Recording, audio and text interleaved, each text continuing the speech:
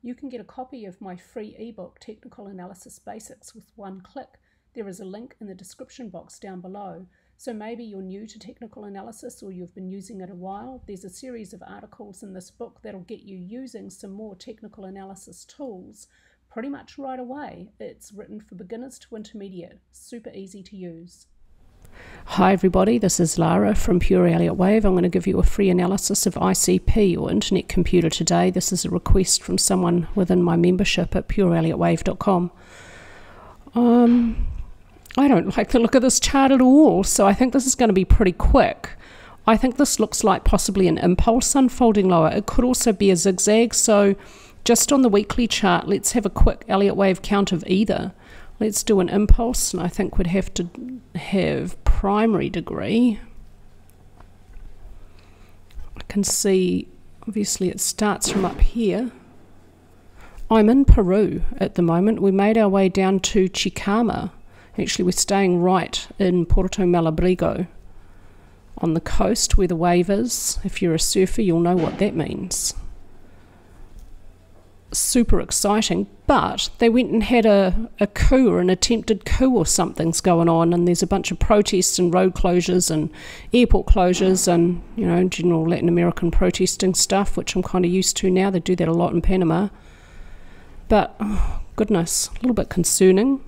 The house we're in is essentially a fortress. they built their houses pretty serious, maybe because of all the protesting that they do regularly. Oh, I think I can see well, that could be over there, yeah.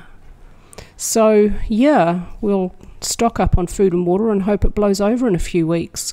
If we want to leave, now's the time to do it, but I don't know if I really want to be trying to get back up to Ecuador, where we came from. Has sea moved beyond the. No, it hasn't. I don't like running flats, no. Well, this isn't going to fit all that well. Oh, no, hang on. Is this high? 58261? No, it has to be that one. Okay, so, oh, well, I guess this could be okay. This fifth wave. This is a bit that I'm not sure. It doesn't look like a perfect looking impulse, but could be a little brief second wave. Oh, that's my lunch. Fourth wave there. That could be, yeah. So there could be an impulse over there. Okay, sorry, the situation in Peru, yeah, I'm going to keep an eye on it. Although if things change quickly, there's really not much you can do. The time to leave would be now. But we just got here and I don't know if I want to... I'll delete that. Let's try zigzag. I don't know if I want to really try and hoof it on back to Ecuador and Bogota. I think it'll probably blow over. I don't know. Am I making a terrible choice? I don't know. I think if this is a zigzag, maybe ABC. Let's see if this actually has a better fit. It's hard to know, but you know, I lived through a global pandemic stuck in an apartment in Panama City. I figure we can pretty much cope with anything at this point. We'll see. you gotta laugh. or, you might go a little bit mad. I think this, oh, I don't think that's going to work. That minor wave one, or oh, could it be a leading contracting diagonal though? Yeah, this will work. Okay, checking wavelengths. Yeah, three definitely shorter than one, five shorter than three, four shorter than two. That actually looks all right. Except following a leading diagonal in a first wave position, the following second wave is usually quite deep. This has a pretty good fit. The fifth wave could be over. This also has a reasonable fit. The fifth wave could be over.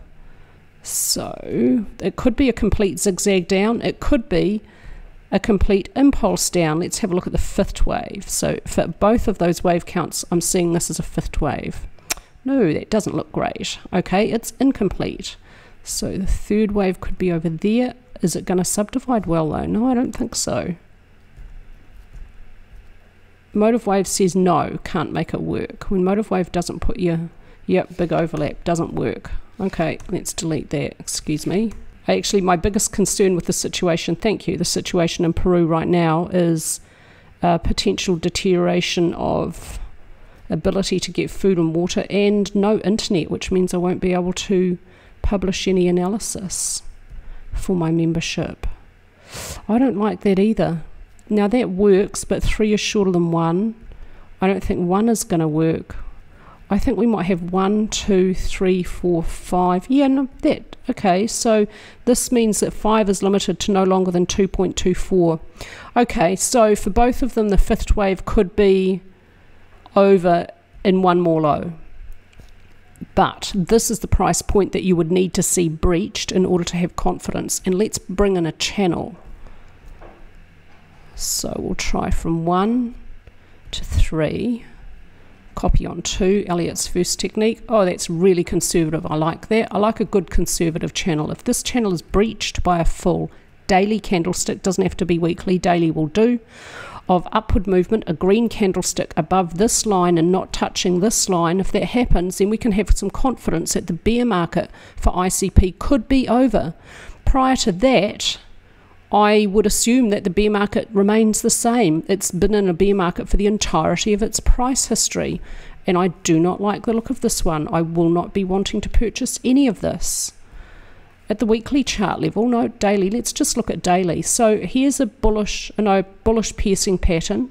Here's a morning star, but a very weak one, bit of a bounce. Let's have a look at previous lows. Here's a hammer candlestick, bullish engulfing candlestick, only led to a short term bounce, the bullish engulfing did not have support from volume. Here's a strong morning doji star. The green candlestick did have support from volume compared to the previous red one. And that didn't lead to any further highs. This high is below this, so that wasn't very good as a prediction. A bullish hammer candlestick pattern here and a bullish engulfing candlestick pattern lacks support from volume. Here's another bullish engulfing candlestick pattern lacks support from volume. Another one here did have support from volume. This is early in the price history, 21st of July 2021, led to a reasonable bounce, but not the end of the bear market. So the conclusion would be that even if there's support from volume, this one could continue lower. I think that channel is probably the best way to identify when this is over. Volume is light at the moment, volume is increasing as price moves lower, pushing price lower.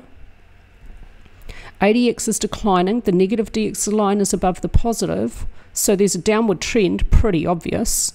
How it's reached previously very extreme, above 45, and in the early days, above 65. Goodness.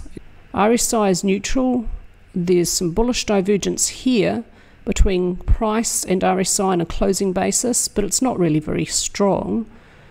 Uh, there's long term bullish divergence from the beginning of this, from here to here, was exceeded then here, here, exceeded then, and still really strong bullish divergence. So, obviously, just because there's bullish divergence doesn't mean the bear market has to be over. It's continued for the entirety of this price history. Strong bullish divergence between price and money flow index, that's existed before, and yet then it's just disappeared. And ATR showing a little bit of an increase as price curves around and starts to move lower.